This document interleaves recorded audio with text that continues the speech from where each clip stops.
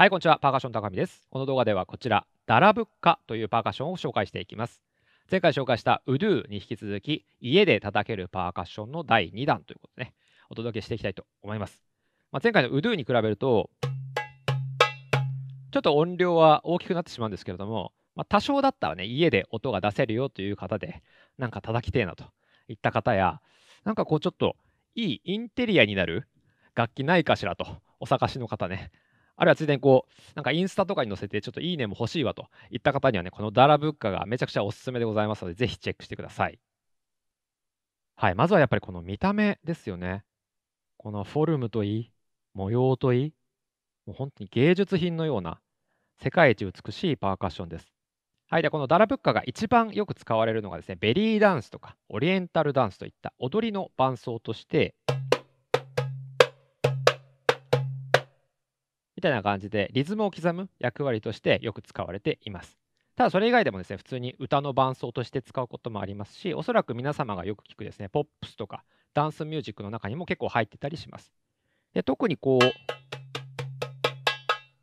特徴的な音色なので、オリエンタルな雰囲気、エキゾチックな雰囲気を出すのにですね、すごく向いているパーカッションです。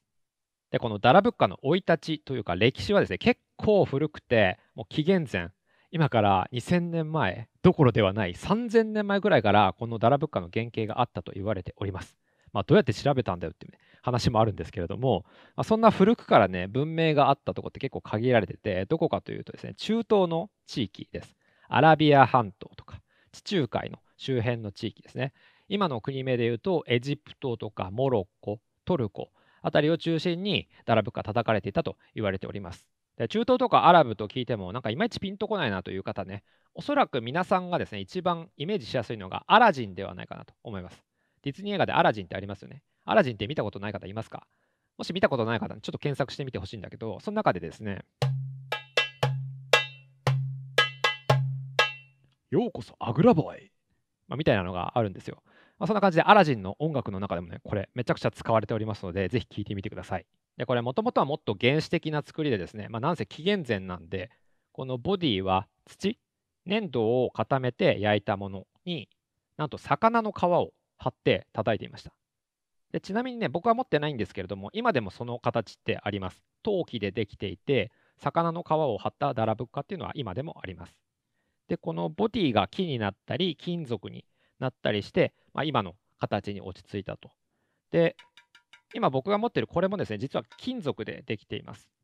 はい、塗装と彫刻がされているのでちょっと分かりにくいんですけども、このちょっと剥げた部分を見ていただくと、あ、金属でできているなというのが分かると思います。このボディはね、主にアルミを中心とした合金でできています。でこの皮の方は、今ではプラスチックでできたプラヘッドが一般的です。でここはちょっとマニアックな話になりますけども、今度この形に注目してほしいんですね。この画面側に対してこのボディがキュッとくびれてるじゃないですか。これゴブレット型とか杯型と言われるんですけども実はこの形にめちゃくちゃ意味があるんですね。でこの赤いやつこれアフリカのジャンベという楽器なんですけどもこのジャンベも同じくびれてるゴブレット型なんですね。ちなみにジャンベはボディが木で皮がヤギ側っていう違いがあるんですけれども基本的にこれ同じタイプの楽器です。で、この形だと何がいいの何が違うのっていう話なんだけども、実はこれで、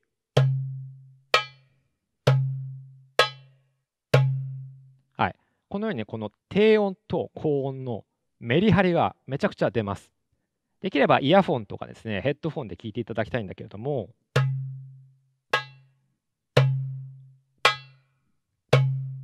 はい。まあ、比較的パーカッションの中ではこの小ぶりな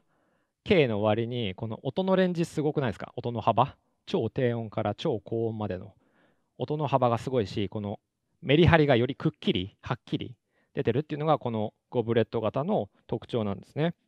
でさらに言うとこの低音。音が鳴ってからこうドゥーンドゥーンドゥーンってこう急に消えていくっていうか収束してるの分かりますかね？これがね、このボディが普通の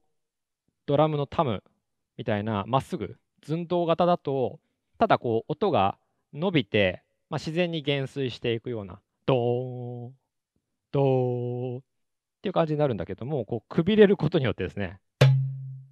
ドゥーン、ドゥーンって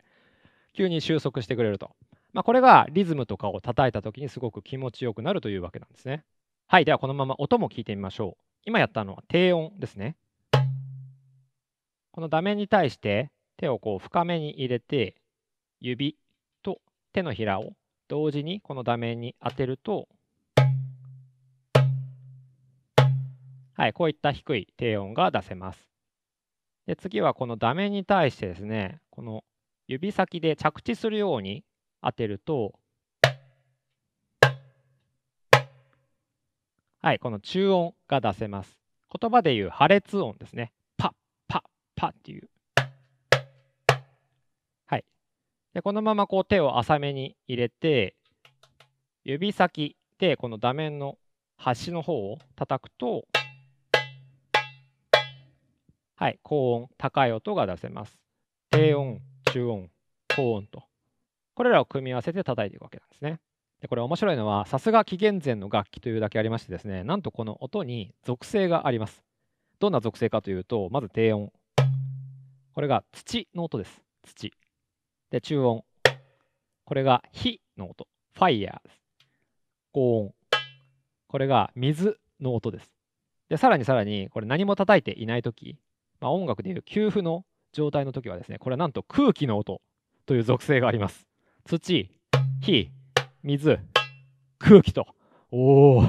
なんかかっけえと、中二心をくすぐられる何かがある。聞け、空気の音っていう感じですね。あとやっぱこの低音が土の音っていうのは、やっぱ昔の人もこれをベースだと感じていたのかなと思ったりね、発見がありますよね。はい、というわけでこの土、火、水、空気をですね、組み合わせてリズムなどを叩いていくわけですね。で、ベリーダンスなんかでは結構シンプルなリズム、シンプルなグルーブを繰り返すということが多いです。ちょっと簡単なのをやってみましょうか。よかったら一緒にこう口ずさみながら聞いていただけると分かりやすいかなと思います。いきますね。ドドタドタドドタドタドドタドタドドタドタドドタドタドドタド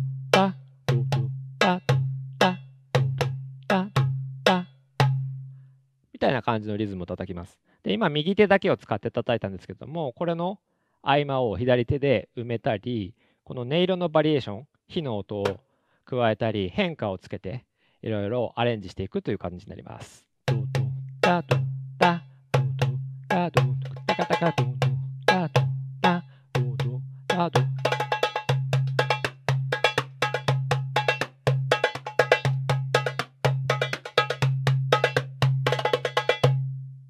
たいな感じですね。でトラディショナルなリズムとかではなくても、例えばこの低音、土の音をですね、ドラムのキック、バスドラムと考えて、この中音、火の音をドラムのスネアと考えれば、ド、パッ、ド、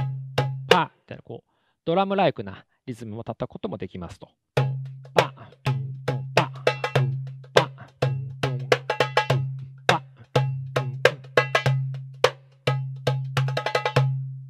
はい、いかがでしょうか？ダラブッカ欲しくなってきましたでしょうか？これ気になるお値段ですよね。気になるお値段がですね、このボディが完全にアルミとか金属でできているタイプのものだと安いもので5000円からあります。結構安いですよね。で僕が持ってるみたいなこういう模様、モザイク柄の彫刻が入っているようなものだと、ま、安くて2万円くらいからあります。で、まあ柄だったりですね、この作りによって2万、3万、4万といったような価格帯になります。で、ここにあるのがですね、今、僕が持っているのよりも、実はこれちょっと一回り大きいサイズなんですね。これはダラブッカソンバーティっていうですね、ちょっと一回り大きいサイズのダラブッカになります。こっちになると、このレギュラーサイズよりもプラス1、2万円といった感じです。はい、これがダラブッカソンバーティです。大きさ一回り大きい分ですね、やっぱ音量もちょっと上がりますし、音のメリハリもよりはっきりとつくようになります。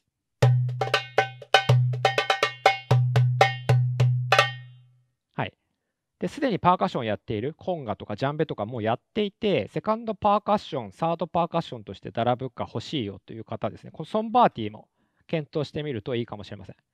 僕個人的な意見なんですけども、あの他のパーカッションと組み合わせる、マルチパーカッションでいろいろ並べたりするときにですね、コンガとかと比べると、このレギュラーサイズのダラブッカってちょっと小さいかなと思いまして、まあ、このソンバーティーぐらい大きいとね、他の楽器とのバランスが取れますので、まあ、中級者、上級者の方はね、このソンバーティも検討してみるといいかなと思います。はい、というわけで今回はダラブッカーの紹介でした。弾かれた方はね、ぜひ手に取っていただければと思います。で希望者が多ければですね、このチャンネルでもこのダラブッカーのレッスン動画とかワークショップとかやろうかなと思っておりますので、まあ、そういうの見たいよというですね、えー、方がいましたらコメント欄でアピールしていただければと思います。はい。こんな感じでパーカッション情報を毎日発信。毎週日曜日には YouTube ライブを使ったパーカッションのワークショップもやっておりますので、引き続き要チェックをお願いします。それではまた次の動画で会いましょう。バイバイ。